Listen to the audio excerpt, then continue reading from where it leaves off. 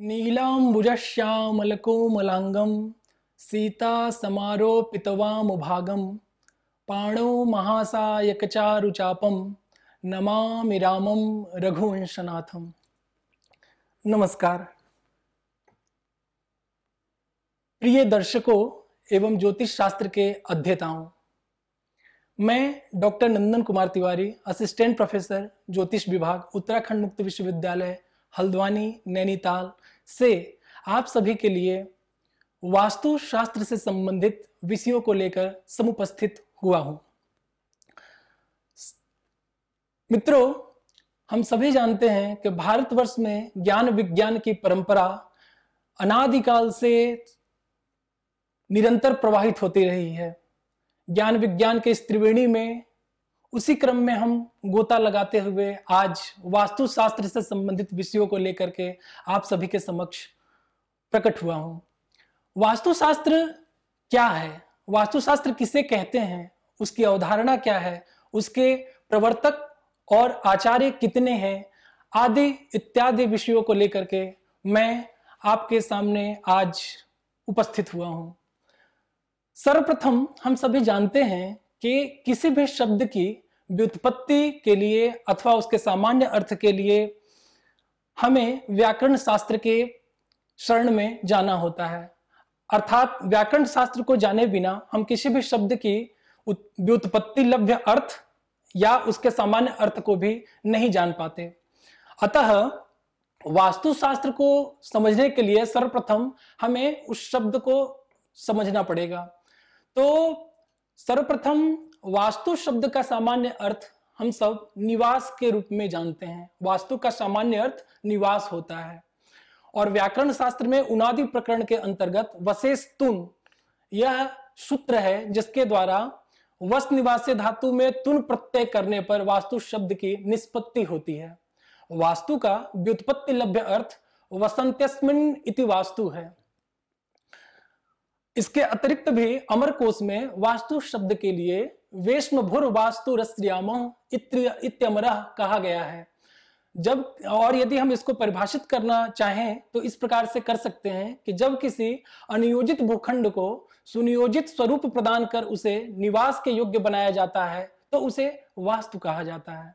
अतः भवन, दुर्ग, प्रासाद, महल, मठ मंदिर और नगरादि समस्त रचनाएँ जिनमें मनुष्य वास करते हैं, उन्हें वास्तुपद से संबोधित किया जाता है।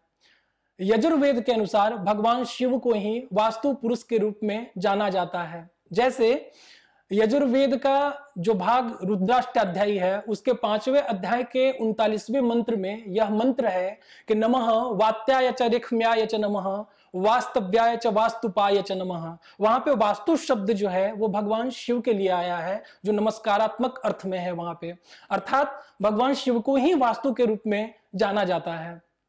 पाश्चात्य विद्वान मोनियर विलियम्स के अनुसार वास्तु शब्द का अर्थ द साइट और foundation of a house site ground building और ड्विलिंग प्लेस के रूप में किया गया है।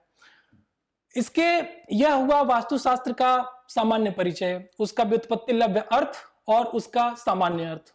यदि हम क्षेत्र के द्वारा उसको समझना चाहें तो हम इस प्रकार से समझ सकते हैं कि वेद भारतीय मूल विद्या, भारतीय समस्त विद्याओं का मूल के रूप में जाना जाता है। अर्थात, भारत की समस्त विद्याओं की उत्पत्ति का मूल वेद है।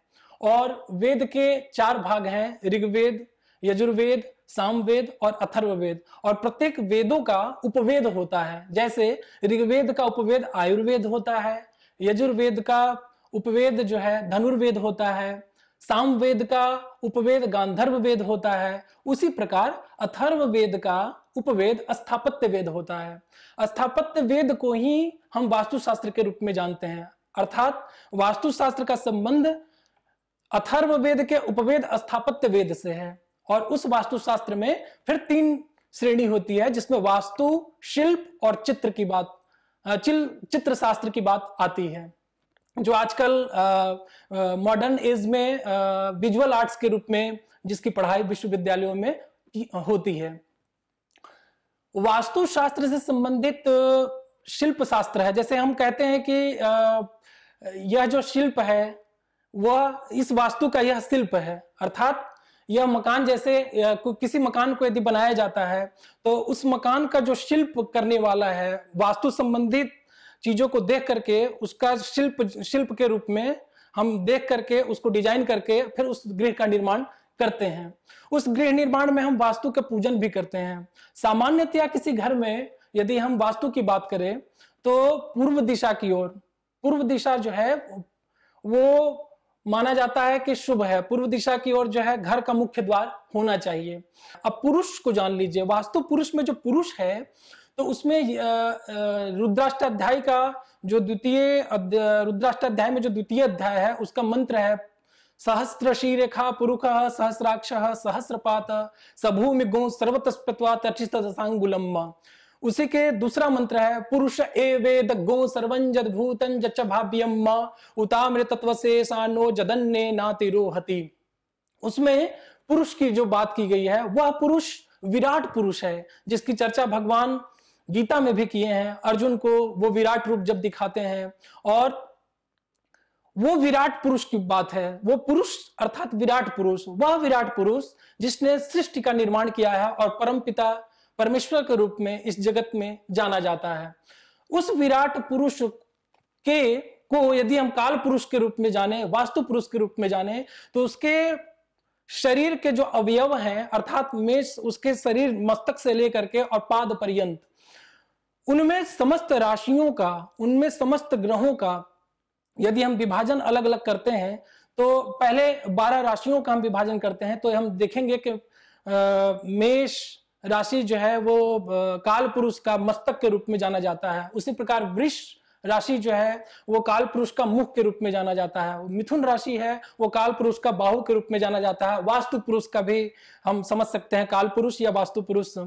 तो उसके मिथुन राशि जो है उसको बाहु के रूप में जाना जाता है, कर्क राशि जो है वो हृदय के रूप में जाना जाता है, सिंह राशि जो है वो उदर के रूप में जाना जाता है, कन्या राशि जो है वो कटी के रूप में अर्थात कमर के रूप में जाना जाता है, तुला राशि जो है वो बस्ती के रूप में जाना जाता है वृश्चिक राशि जो है वो जो जो गुह्य भाग है वहाँ के रूप में जाना जाता है, धनु राशि जो है उरु के रूप में जाना जा सकता है। और मकर राशि जो है वो जानू के रूप में, जंघा के रूप में जाना जाता है। कुंभ राशि जो है वो जंघा के रूप में और मीन राशि जो है पाद, अर्थात चरण के रूप में जाना जाता है।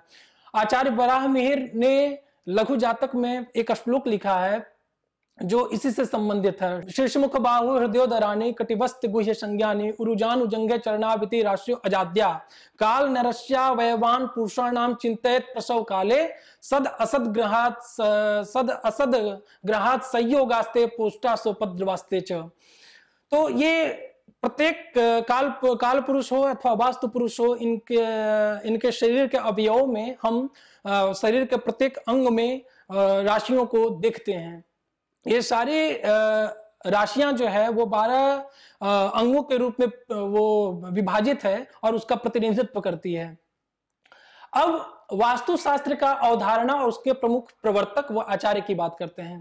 तो सर्वप्रथम ब्रह्मा जी को वास्तुशास्त्र के प्रवर्तक के रूप में माना जाता है। पुराणों के अनुसार पृथु ने जब पृथ्वी को समतल किया और ब्रह्मा जी से पृथ्वी पर नगर, ग्राम आदि की रचना के संबंध में निवेदन किया, तब ब्रह्मा जी ने अपने चारों मुखों से विश्वकर्मा आदि की उत्पत्ति की।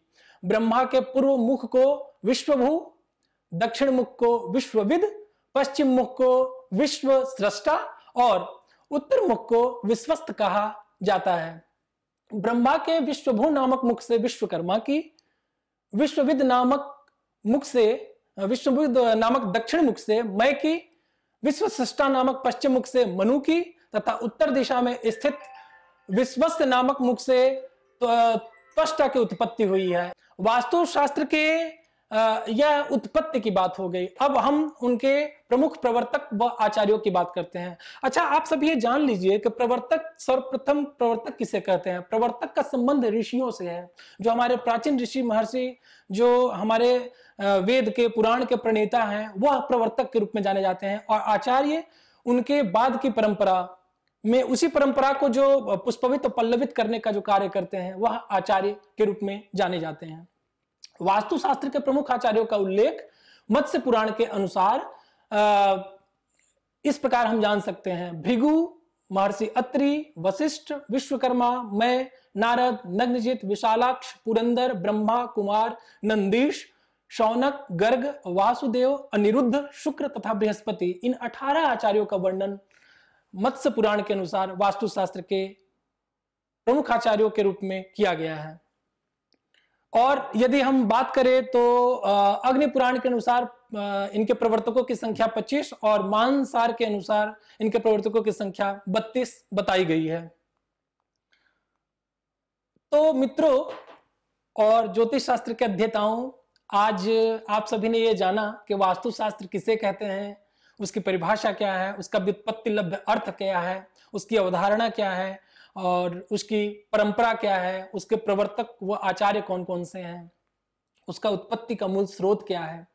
तो आज हम वास्तुशास्त्र से संबंधित सिर्फ़ इतना ही चर्चा करेंगे और अगले क्रम में हम पुनः इसी की अगली कड़ी में आपको वास्तु से जुड़ी और विषयों का और गृह निर्माण में किस दिशा में कौन सा चीज़ होना चाहिए क्या क्या निर्माण हम कर सकते हैं और यदि विपरीत परिस्थितियाँ हो प्रतिकूल परिस्थितियाँ हो तो वैसे प्रतिकूल परिस्थितियों में भी हम वास्तुशास्त्र में वास्तुशास्त्र में बताए गए आचार्यों के द्वारा नियमों की पालन करते हुए नियमों की नियमों को जानते हुए हम सब कैसे उसका आ, उसकी रक्षा कर सकते हैं उसका हम कैसे आ, सुधार कर सकते हैं। आदि इत्यादि विषयों की चर्चा अगले क्रम में करेंगे। तब तक के लिए धन्यवाद।